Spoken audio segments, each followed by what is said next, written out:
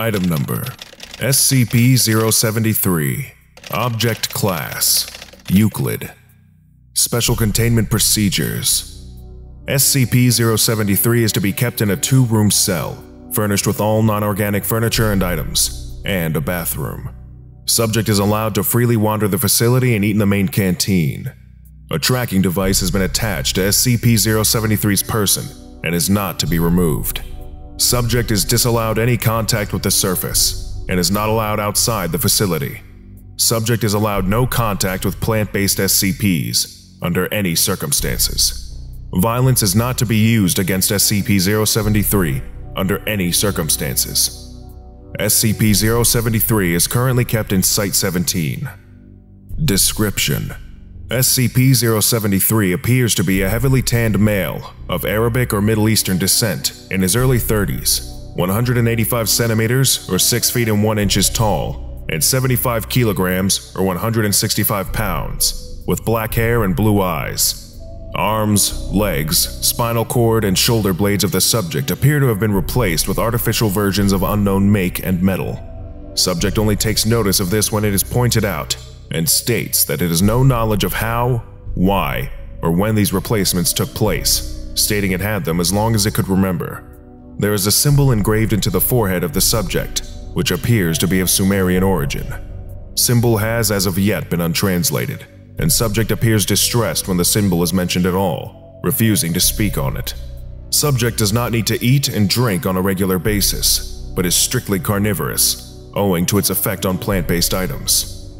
SCP-073, who refers to itself as Cain, is generally polite and genial to all who speak to it, though it has been described as being cold and somewhat mechanical in its speech. It is very helpful and enjoys aiding personnel in their daily actions, whatever they may be.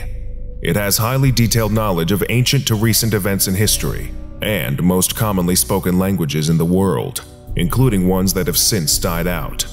Subject has professed to having a photographic memory, remembering word for word all text in an 800-page dictionary that was flicked through in a minute and a half.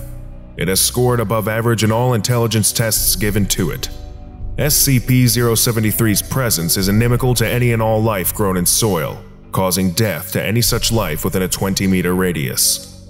Any land SCP-073 has walked on, and any within the 20-meter radius, becomes barren as all anaerobic bacteria dies, rendering the soil incapable of supporting life until new bacteria are introduced. Anything that is derived from soil-grown life, such as wood and paper, immediately rots and disintegrates upon touch of SCP-073. Further affected derivatives include anything hydroponically grown. Violence directed towards SCP-073 reflects any damage inflicted on SCP-073 directly back onto the attacker, although SCP-073 visibly remains unharmed. This applies to any damage directed at SCP-073. Attempts to get tissue and blood samples have proven futile, when the procedure was initiated, personnel carrying out the action felt the sensation of whatever was applied to SCP-073 and wound up with a sample of their own blood or tissue. Despite the fact that all actions were directed solely at SCP-073, indirect damage through a medium also results in the person perpetrating the action receiving the wounds caused. Although SCP-073 receives no actual harm from damage to its person, it has stated that it still feels the pain of the action and has politely asked researchers to abstain from overly harmful actions to its person.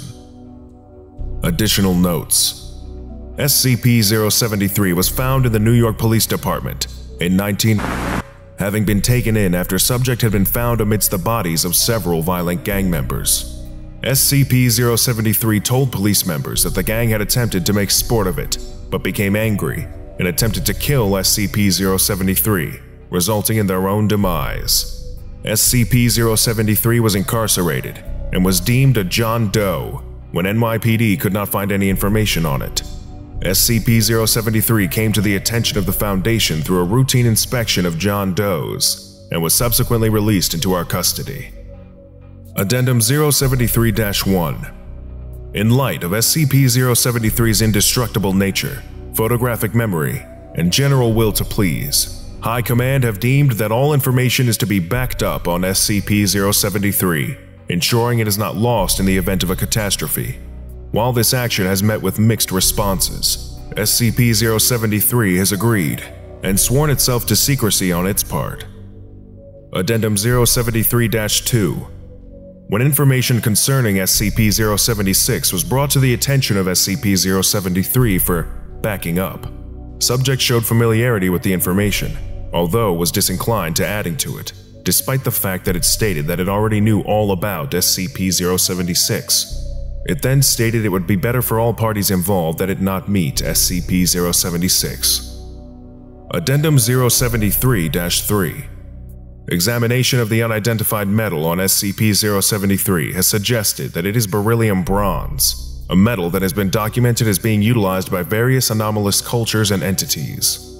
Most notably, beryllium bronze is a component found in SCP-1216, SCP-1427, SCP-2481, and SCP-2711.